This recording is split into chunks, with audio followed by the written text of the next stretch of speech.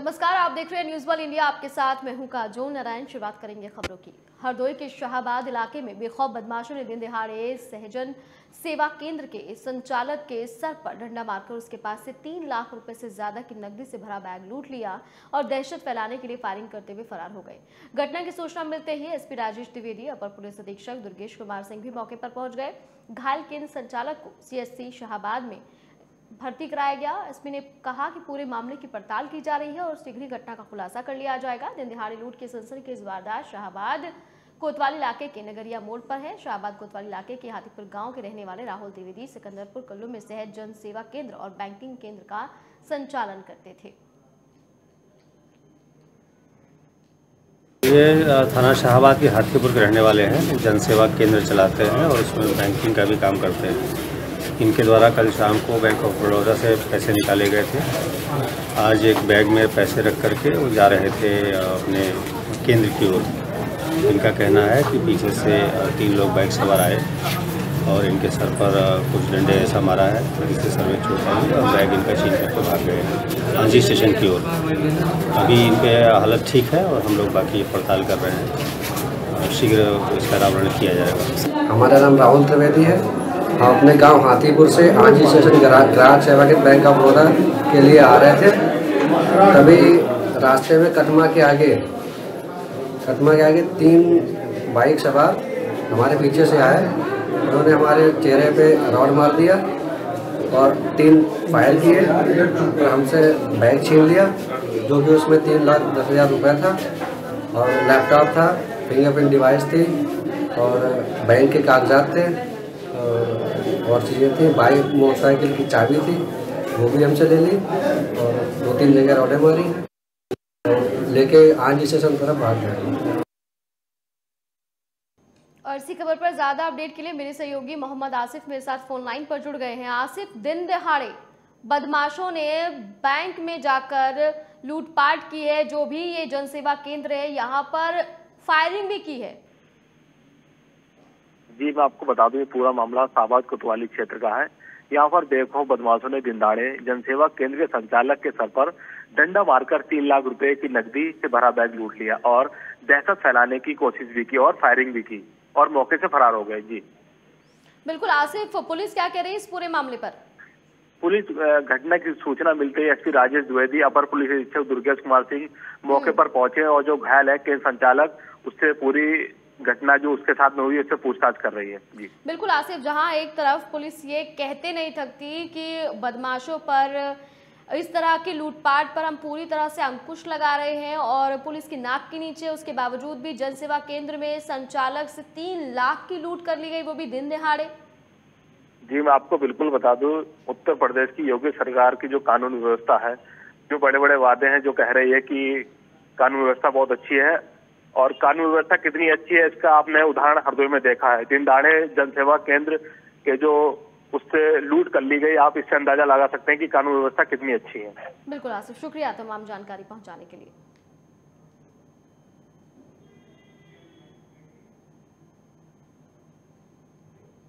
वही अमेठी में तेज रफ्तार कार का टायर फटने से हादसा हो गया, जिसके कारण कार अनियंत्रित होकर पूर्वांचल एक्सप्रेसवे से नीचे गिर गई। हादसे में कार सवार युवक की दर्दनाक मौत हो गई है, साथ ही महिला समेत दो लोग गंभीर रूप से घायल हो गए हैं। मामला शुकुल बाज़ार थाना क्षेत्र के अंडरपास का बताया जा रहा है। अमेठी की तस्वीरें आप देख रहे हैं, जहाँ पर तेज रफ्तार की वजह से एक गाड़ी जो है उसका टायर फट गया, जिसकी वजह से वो एक्सप्रेसवे से नीचे गिर गई। हादसे में युवक की मौके पर ही मौत हो गई है। महिला और दो लोग गंभीर रूप से घायल बताए जा रहे हैं। पूरा मामला शुक्ल बाज़ार थाना क्षेत्र के अंडरपास का बताया जा रहा है। और इसी खबर पर ज़्यादा अपडेट के लिए मेरे सहयोगी विक्रम मेरे साथ फ़ोन लाइन पर जुड़ गए हैं। विक्रम, हादसा हुआ, तेज रफ्तार बताया जा रहा है हादसे का कारण, लेकिन हम देख रहे हैं कि एक्सेस वे पर एक के बाद एक रोज़ाना कोई ना कोई हादसा हो रहा है। क्या सिर्फ़ तेज रफ्तार वजह है हादसों की? जी रफ्तार के कारण रफ्तार के कहर में आ जाती है कई ज़िंदगी आजमगढ़ से लखनऊ जा रही एक कार अनियंत्रित होकर डिवाइडर से टकरा गई हम्म। जिससे उसमें सवार एक अधेड़ की मौत मौके पर मौत हो गई उसकी पुत्री व कार चला रहा पुत्र भी घायल हो गए हम्म। एंबुलेंस से सीएससी में भर्ती कराया गया प्राथमिक उपचार के बाद चिकित्सक ने पुत्री की हालत गंभीर देख ट्रामा सेंटर लखनऊ रेफर कर दिया हम्म। वहीं पूर्वांचल एक्सप्रेस वे के किलोमीटर तिरसठ के पास आजमगढ़ ज़िले के भगौड़ा थाना निजामाबाद निवासी राजनाथ पैंसठ वर्ष पुत्र प्रिंस तेईस वर्ष संध्या साथ लखनऊ स्थित पीजीआई दवा लेने के लिए जा रहे थे। अनियंत्रित होने के कारण डिवाइडर से टकराई उसके बाद कार क्षतिग्रस्त होते ही चोटिल हो गए सभी लोग। ठीक है, विक्रम, शुक्रिया तमाम जानकारी पहुँचाने के लिए। तो अमेठी की तस्वीरें आप देख रहे हैं, जहाँ पर तेज रफ्तार कार अनित होकर डिवाइडर से टकरा गई और नीचे जा गिरी, जिसकी वजह से एक युवक की मौके पर ही दर्दनाक मौत हो गई है। साथ ही एक महिला और दो लोग गंभीर रूप से घायल बताए जा रहे हैं।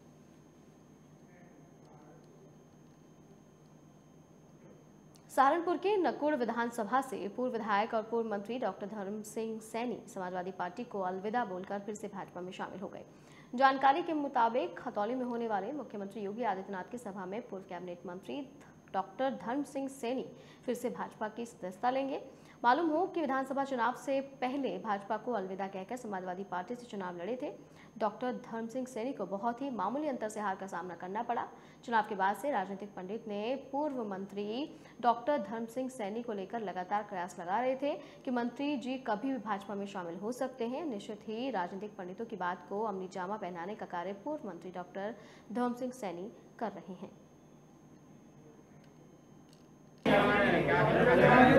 हज़ारों समर्थकों के साथ जो आप देख रहे हो पूरे तरीके से भीड़, इन सबको ये सब आज समाजवादी पार्टी छोड़ करके भारतीय जनता पार्टी, आदरणीय मुख्यमंत्री पूज्य महाराज जी के नेतृत्व में और प्रदेश अध्यक्ष आदरणीय चौधरी भूपेंद्र सिंह जी और क्षेत्रीय अध्यक्ष आदरणीय मोहित बेनीवाल जी के नेतृत्व में घोषणा करने जा रहे हैं। और हम पुनः अपने घर में वापसी कर रहे हैं। क्या कारण रहा कि पहले सपा में गए और फिर भाजपा में वापसी देखिए इस पर विस्तार से फिर चर्चा करेंगे।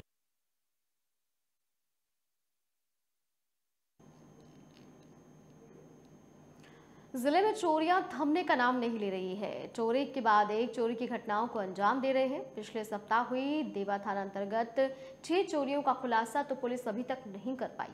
28 नवंबर की रात डीजीआईसी ऑडिटोरियम के बाहर से एक युवक की एचएफ डिलक्स बाइक चोरी हुई थी, जिसके बाद नगर कोतवाली अंतर्गत सिटी चौकी के मॉडर्न स्कूल के पास से मोहम्मद सलीम के घर से चोरों ने तीन लाख रुपये और जेवरात चुरा लिए। मोहम्मद सलीम ने जानकारी देते हुए बताया कि वह शादी में अपने पूरे परिवार के साथ सैदनपुर गया था। तभी लौटते वक्त ताला टूटा मिला। अंदर जाकर देखा तो जेवरात और कैश गायब थे। इस घटना को देखते हुए अंदाज़ा लगाया जा सकता है कि चोरों के हौसले कितने बुलंद हैं, जो बीच चौराहे पर स्थित घर को निशाना बना पुलिस को चुनौती दे रहे हैं। ये घटना रात्रि गश्त करने वाली पुलिसकर्मियों की पोल भी खोलती नज़र आ रही है।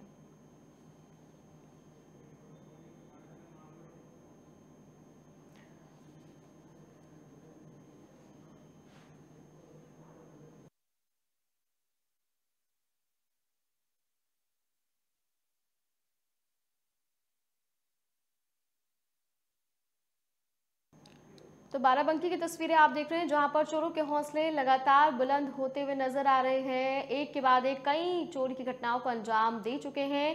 छह चोरियों का खुलासा अब तक पुलिस ने नहीं किया है, लेकिन बीते 28 नवंबर को एक और चोरी की घटना सामने आई है, जिसके बाद बताया जा रहा है कि तीन लाख रुपए और जेवरात चुरा ले गए हैं। साथ ही साथ जो मोटरसाइकिल थी, वहाँ पर वो भी चुराई गई है। ये भी कहा जा रहा है कि कहीं ना कहीं पुलिस को चुनौती दे रहे हैं और साथ ही साथ ये भी कहा जा रहा है कि पुलिस इस पूरे मामले पर छानबीन कर रही है। ये घटना रात में गश्त करने वाली पुलिसकर्मियों की भी पोल कहीं ना कहीं खोलती हुई नज़र आ रही है।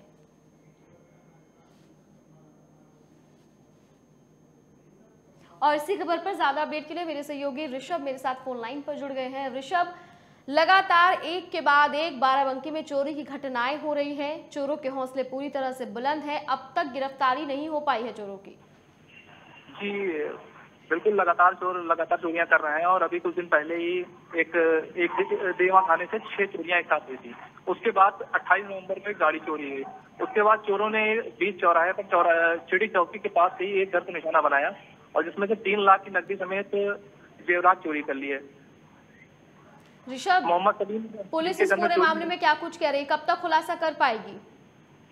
पुलिस ने अभी तक प्राथमिकी तक नहीं दर्ज की है इस मामले में और जिनके घर से चोरी हुई है मोहम्मद सलीम उन्होंने जानकारी देते हुए बताया कि जो है सत्ताईस नवंबर को वो किसी फैमिली में अपने यहाँ शादी में गए थे पूरे परिवार के साथ में। और दो दिन उनका घर बंद था। आज जब सुबह साढ़े दस बजे वो अपने घर पे पहुँचे हैं तो घर का ताला टूटा हुआ मिला जिसके बाद उन्होंने हंड्रेड डाल पी। मंडे डाल आने के बाद सिटी चौकी इंचार्ज आए उन्होंने पूरी घटना का मुआयना किया। जिसका उन्होंने आश्वासन दिया है कि जल्द से जल्द चोर पकड़े जाएँगे। ठीक है। ऋषभ, शुक्रिया तमाम जानकारी पहुँचाने के लिए। तो बाराबंकी में चोरी के हौसले लगातार बुलंद होते हुए नज़र आ रहे हैं। चोर की घटनाएँ लगातार बढ़ रही हैं। साथ ही साथ ये चोर पुलिस को भी कहीं ना कहीं बड़ी चुनौतियाँ लगातार दे रहे हैं।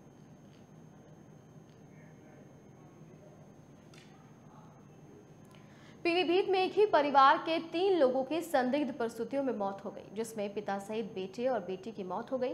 वहीं पिता का शव फंदे से लटका मिला। वहीं बेटा और बेटी का शव मिलने से हड़कम मच गया। घटना की सूचना पर स्थानीय पुलिस के साथ एसपी भी मौके पर पहुँचे। फ़िलहाल पुलिस मामले की जाँच कर रही है। घटना द्यूरिया कोतवाली इलाके के रंबोजा गाँव की बताई जा रही है। और इसी खबर पर ज़्यादा अपडेट के लिए मेरे सहयोगी प्रांजल मेरे साथ फ़ोन लाइन पर जुड़ गए हैं। प्रांजल एक ही घर में तीन मौतें संदिग्ध परिस्थितियों में पुलिस क्या कह रही है? जी आ, आपको बताना चाहिए बीसलपुर कोतवाली का मामला है रंबोजा गाँव का जहाँ पे बताया जा रहा है कि तीन एक ही परिवार के तीन लोगों की जो है मौत हो गई। इसमें पिता जो है फांसी के फंदे में लटकता हुआ मिला है वहीं जो शव मिला है उनका उसके अलावा एक पुत्र और पुत्री का जो है शव मिला है बरामद हुआ है। भाई घटना की सूचना पर तमाम पुलिस फोर्स वहाँ के मौके पर पहुँच गई प्रांजल ये आत्महत्या है खुदकुशी है या फिर परिवार वालों ने किसी पर हत्या का भी शक जताया है? जिस तरीके बताया जा रहा है क्योंकि इसको दो, दो एंगलों से जोड़ के देखा जा रहा है। एक तो पहला तो ये है कि आत्महत्या मानी जा रही है। दूसरा ये भूत प्रेत का भी इसमें जो है मामला सामने आया है। तो हम्म। दोनों ही एंगल पे जो है पूरे मामले की जाँच की जा रही है। हालाँकि तीनों शवों को पोस्टमार्टम के लिए भेज दिया गया। पोस्टमार्टम के बाद ही पूरी बात सामने आएगी निकल कर हम्म। तो यानी अभी कुछ भी क्लियर नहीं है। जी अभी इस बारे में कुछ कहा नहीं जा सकता क्योंकि जिस तरीके गाँव के लोगों का कहना है भूत प्रेत की बाधा भी यहाँ पर हम्म। देखने को मिल रही है। तमाम जो परिवार के जो लोग थे वो आश्रम वगैरह कहीं जाते थे उसकी भी बात निकल करके सामने आई है। हालाँकि पूरे मामले में जो है जाँच की जा रही है और आत्महत्या और ये दोनों ही एंगल से जो है जाँच की जा रही है। जी। ठीक है प्रांजल शुक्रिया तमाम जानकारी पहुँचा रही थी तो पीलीभीत में एक ही परिवार के तीन लोगों की संदिग्ध परिस्थिति में मौत हो गई है। फ़िलहाल पुलिस हर एंगल से जाँच करने की कोशिश कर रही है। वहीं गाँव के लोगों का कहना है कि कुछ भूत प्रेत का चक्कर था, जिसके चक्कर में आकर यहाँ खुदकुशी की गई है। हालाँकि पुलिस इस पूरे मामले पर गहनता से जाँच कर रही है। अभी पुलिस कुछ भी कहने के लिए तैयार नहीं है।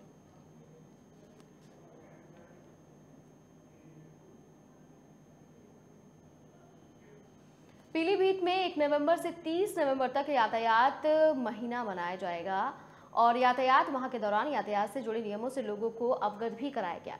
ये महीना बहुत ही सही तरीके से नियमों के साथ लोगों को जागरूक किया गया है और स्कूल, कॉलेज, ऑटो चालक निजी चालकों, टैक्सी स्टैंड पर चालकों और बच्चों को जागरूक भी किया गया। आपको बता दें कि सड़क दुर्घटनाओं की रोकथाम को लेकर यातायात महीना मनाया गया। यातायात प्रभारी निर्देशक सिंह चौहान सहित पूरी टीम मौजूद रही। साथ ही यातायात पुलिस टीम और होमगार्ड सहित पत्रकारों को सम्मानित भी किया गया है। तस्वीरें आप देख सकते हैं। यातायात महीने का समापन हुआ है। ऐसे में लोगों को यातायात नियमों से अवगत कराया गया है। जो कॉलेज के बच्चे हैं, जो स्कूल के बच्चे हैं, जो चालक हैं, उन सभी को बताया गया। एक महीने तक ये जो नियम है, लोगों को जागरूक करने के लिए समझाए गए। साथ ही साथ बता दें कि सड़क दुर्घटनाओं की रोकथाम को लेकर ये महीना बेहद ही महत्वपूर्ण हो जाता है, क्योंकि इस पूरे महीने में लोगों को यातायात के नियम बताए जाते हैं, समझाए जाते हैं, उन्हें जागरूक किया जाता है ताकि कम से कम जो सड़क दुर्घटनाएँ हैं वो हो। वही यातायात प्रभारी निर्देशक सिंह चौहान अपनी पूरी टीम के साथ मौजूद रही। साथ ही यातायात पुलिस टीम और होमगार्ड सहित पत्रकारों को भी यहाँ पर सम्मानित किया गया। नवंबर से 30 नवंबर तक सरकार के द्वारा जो निर्देशित माह के तौर पे यातायात जागरूकता माह के तौर पे इसको हम लोग मनाते हैं और इसमें प्रभावी कार्रवाई हर स्तर पर हो, जागरूकता के स्तर पर हो, एजुकेशन के स्तर पर हो और इन्फोर्समेंट के स्तर पर हो, उसको हम लोग करते हैं, पूरे माह परिवहन के साथ करते हैं और अन्य जो इसके इंटरेस्टेड ग्रुप्स हैं पी इंजीनियरिंग में एजुकेशन स्कूल सिस्टम उनके साथ कोऑर्डिनेट करके तरह तरह की जागरूकता कार्यक्रम हमने महीने भर में किए हैं और उसका एक समन्वित परिणाम भी जनपद में देखने को मिला है कि चाहे वो यात्रा दुर्घटनाओं की कमी हो या फिर लोगों में एक जागरूकता का स्तर हेलमेट पहन कर चलने या अन्य अनुपालन की, उसके में भी प्रभावी वृद्धि हुई है। और इसको हम लोग परिवहन के साथ एक मिशन के तौर पर चलाएँगे। आगे भी इस तरह की जो कार्रवाइयाँ हैं, चाहे वो जागरूकता के स्तर पर हो या इन्फोर्समेंट उसको हम लोग लगातार जारी रखेंगे। और इसी खबर पर ज़्यादा अपडेट के लिए मेरे सहयोगी प्रांजल गुप्ता मेरे साथ फ़ोन लाइन पर जुड़ गए हैं। प्रांजल, यातायात जो नियमों को अवगत कराया गया, लोगों को जागरूक कराया गया, वो पूरा महीना जो है वो पूरा हो चुका है।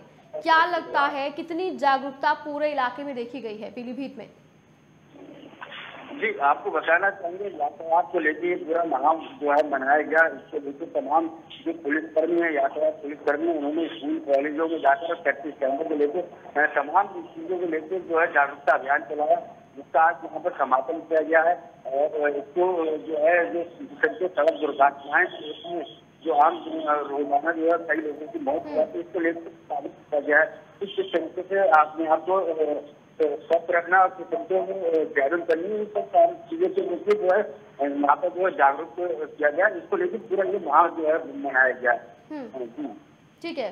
शुक्रिया प्रांजल तमाम जानकारी पहुँचाने के लिए। तो लोगों को यातायात नियमों से यहाँ पर जागरूक करवाया जा रहा है ताकि आने वाले भविष्य में ही सड़क दुर्घटनाओं को कम किया जा सके।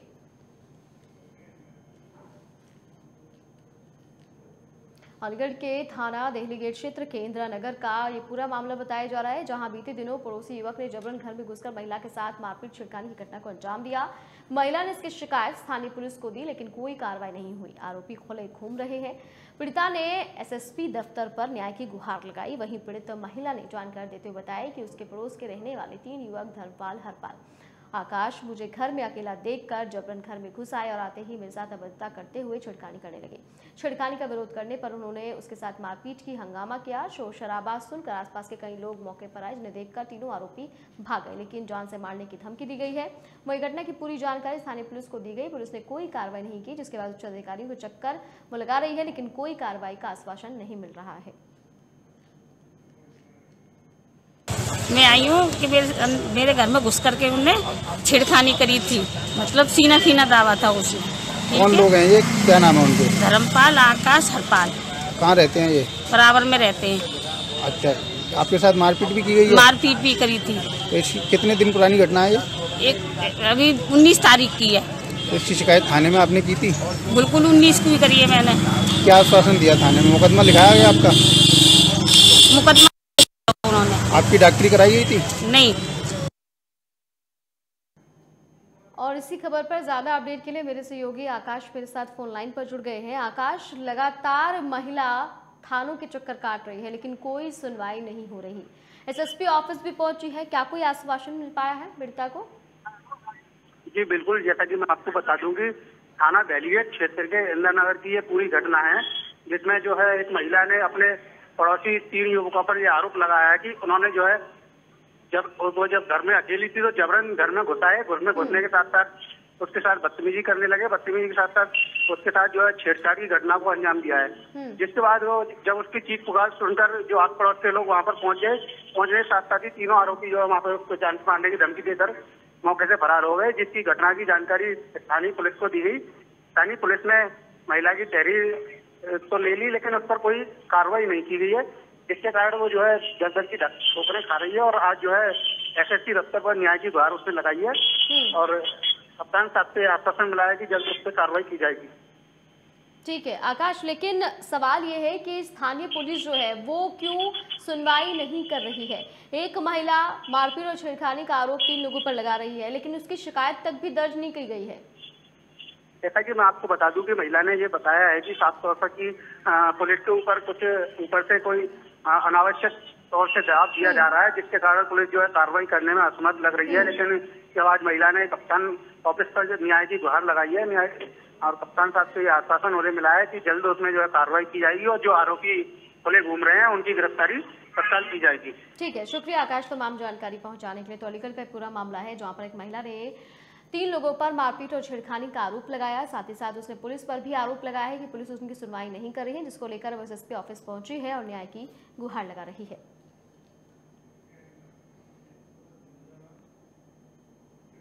फिरोजाबाद में सुबह करीब आधा दर्जन गौवंश ट्रेन की चपेट में आ गए, जिससे गौवंशों की दर्दनाक मौत हो गई। हादसे में ट्रेन के इंजन में एक साथ फंस गया, जिससे ट्रेन रुक गई। गनीमत रही कि एक बड़ा हादसा होने से टल गया। हादसे के बाद 20 मिनट के लिए यातायात पूरी तरह से ठप हो गया। हादसे की सूचना पर पहुँचे रेल विभाग के अधिकारियों ने ट्रक पर पड़े गौवंशों के शवों को हटवा, हटवाया है, तब जाकर यातायात शुरू हुआ। यहाँ पे मुझे थोड़ी देर पहले एक कॉल आई थी, जिससे मुझे बताया गया, यहाँ पे छः सात गाय कट गई हैं। तो यहाँ पे आने के बाद मैंने देखा तो यहाँ पे बाकी में छः सात गाय कट गई हैं। और यहाँ पे बताया जा रहा है रेलवे वालों की तरफ़ से कि ये गाय किस, कोई किसान ऐसे उधर से प्रताड़ित कर रहे हैं, जिससे ये गाय कट गई इधर से। तो मेरा कहने मतलब ये है कि मुझे इस चीज़ का पूरा प्रकरण भी क्लियर नहीं हुआ है कि किस वजह से गाय कटी है। या गाय क्रॉस कर रही होंगी, तब कटी, या किसी ने भगाया तो कटी है। लाइन पर ना आए। सभी पब्लिक से भी अनुरोध किया गया है कि सब ध्यान रखें। ट्रेन के रेलवे लाइन के आसपास कोई गोवंश फैलता दिखाई दे तो उसको दूर हटा दें। इनका, जो है, शासन के द्वारा और नई गौशालाएँ प्रत्येक न्याय पंचायत में एक गौशाला ज़रूर खोली जाएगी, खोली जानी है। तो इसके लिए भरसक प्रयास किए जा रहे हैं। बहुत जल्दी ही प्रत्येक न्याय पंचायत में एक गौशाला खोलकर इनको सब, सभी गौवंशों को संरक्षित करने का बहुत तेज़ी से किया जा रहा है। धन्यवाद। और इसी खबर पर ज़्यादा अपडेट के लिए मेरे सहयोगी किशन चंद मेरे साथ फ़ोन लाइन पर जुड़ गए हैं। किशन, क्या कुछ जानकारी मिल रही है? काजल मैं बताना चाहूँगा ये सुबह की घटना है जब नी, नीलांचल एक्सप्रेस की जो ट्रेन है उसकी चपेट में आगे करीब आधा दर्जन जो गौवंश हैं उनकी मौत हो गई। और जिसमें कि एक जो गौवंश था वो इंजन में आगे फंस गया जिसकी वजह से काफ़ी दूर तक वो उसमें फंस के और काफ़ी दूर तक घिसटता रहा, जिससे उसकी काफ़ी दर्दनाक मौत हो गई और जिसमें इंजन रोका गया, गाड़ी, ट्रेन को रोका गया और करीब 20 मिनट तक जो पूरा जो रेलवे ट्रैक था वो बाधित रहा, जो कि आने जाने वाली जो गाड़ियाँ थी दिल्ली से कानपुर की ओर या कानपुर से दिल्ली की ओर, उनको इसकी वहीं की जहाँ की तहाँ रोक दिया गया था और जो कि दोनों ही रेलवे ट्रैक बाधित रहे।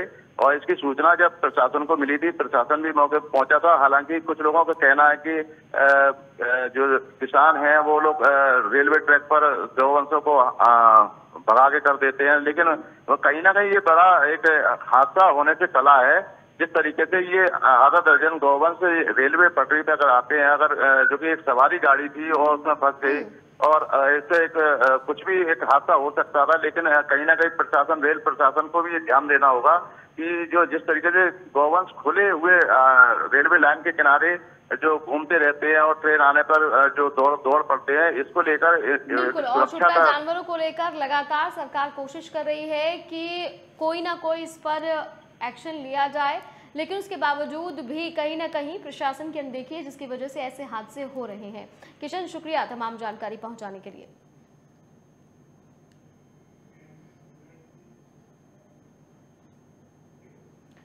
खबर गोंडा से, जहाँ भारतीय जनता पार्टी सांसद ब्रिजभूषण शरण सिंह और पतंजलि योगपीठ के बीच जुबानी जंग जारी है। भाजपा सांसद लगातार पतंजलि के उत्पादों का विरोध कर रहे हैं तो वही पतंजलि की तरफ़ से भाजपा सांसद को लीगल नोटिस दिया गया है। पतंजलि योगपीठ ने सांसद से माफ़ी मांगने की बात कही। इसी बात को लेकर सांसद ब्रिजभूषण सिंह ने प्रेस कॉन्फ्रेंस बुलाई। पत्रकारों से बातचीत में बाबा रामदेव द्वारा दी गई लीगल नोटिस का ज़िक्र किया। सांसद ने कहा कि मैं किसानों, संतों और देशवासियों के हित में जेल जाने को तैयार हूँ और मैं जमानत नहीं कराऊँगा और जेल जाने के लिए पूरी तरह से तैयार रहूँगा। सांसद ने आगे कहा कि मुझे देश के संविधान न्यायालय पर भरोसा है। अगर देश हित में देश जेल जाना पड़े तो मैं पीछे नहीं हटूँगा। सांसद ने कहा कि महर्षि पतंजलि की धरती पर संत जुटेंगे और संत ही निर्णय लेंगे कि आगे क्या होना चाहिए। मैं पतंजलि की भूमि से संतों का आह्वान करता हूँ और अब बाबा रामदेव के खिलाफ देश भर में आंदोलन खड़ा होगा और इस आंदोलन को मैं देश के लोगों और संतों को समर्पित करता हूँ। वो बात लगता है थोड़ी आगे बढ़ गई। और इसीलिए बाबा जी के तरफ़ से हमें एक नोटिस आया है। नोटिस ये है कि तीन दिन के अंदर मैं विज्ञापन के माध्यम से, मीडिया के माध्यम से, या जो भी माध्यम होते हैं, उनसे उनसे माफ़ी मांगू। नहीं तो वो मेरे खिलाफ मानहान का मुकदमा करेंगे। कि यहाँ ब्रजभूषण सिंह और बाबा रामदेव के बीच।